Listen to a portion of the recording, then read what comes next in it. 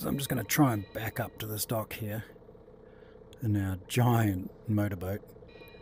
Um, we're just dialing in all the physics right now, so we have to do some different things. This is our physics board up here as we design this whole thing so that we're figuring out how this boat works as close as reality as possible. So, put it back in neutral and see if I can get this to come around a bit more. And we'll go down the stairs and we'll put on our dock line. Should be able to stick it right on there. We'll lock that cleat.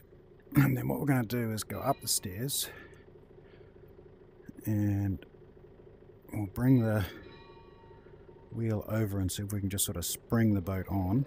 We're Just testing this out. Here we go. So the front of the boat's coming around because we've sprung the boat on with a spring line. And we'll just leave that there, like that, and forward. And we should be able to bring the boat around. And again, what we're doing here is just testing all of these factors here so that we can change each one of these to get the physics right. So as I'm testing the boat out, it's acting exactly like a boat should act. So now I'm just gonna gonna run downstairs and I'm gonna run up to the front of the boat. And let's see, we're gonna click on there and we're gonna click on that. We'll lock the cleat. Now we're locked on um, to the dock here. This is pretty cool. Alright, so that was a little test. We're pretty close. Um, we've got a little bit more to do. We got uh, sort of prop walk to do, turning factors, um, how fast the boat accelerates, how fast it slows down, how fast the boat, um, and we can jump around. I can, we can jump around inside the boat here, have a look. Um, how fast it accelerates, how fast in reverse, how fast it slows down in reverse. So these are all factors that we're just working on right now, just dialing this in. This is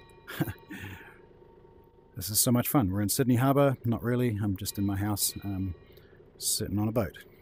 Uh, very, very, very cool. All right. So anyway, here we are. That was a cool little docking exercise. You can, once we get this all dialed in, you'll be able to practice all your docking, um, seeing how a boat like this reacts, uh, seeing how fast it turns, um, get your uh, no damage, stress free docking uh, practice down in virtual reality. And um, you can see I'm in my uh, house here. And if I poke my head out, there we go. That's the house, and we're actually on a boat, or are we in a house? Uh, who can say?